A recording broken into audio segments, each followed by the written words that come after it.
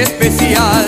Tengo la mente bloqueada pensando en la rinconada y en lo que voy